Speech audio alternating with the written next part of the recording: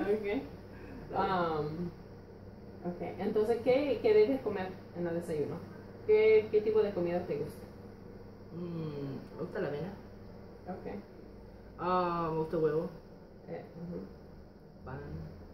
Ok, no vamos a comer pan. Ok. Ok, vamos a empezar con, con esos siete días sin pan, sin cereal, sin Ok. avena, sin pasta. Ok, todo eso Sin arroz. sin arroz, ajá, porque eso no tiene mucho nutriente. Ok. Ok, eso es lo que nu- nuestro cuerpo necesita para, para funcionar. Y la avena con leche o con agua. Ah, no vamos a comer avena Solo- ahora, por esos siete días. Porque no tiene mucho de nu- nutrientes. No es malo, ni el arroz, pero no tiene mucho. Ok. Ok.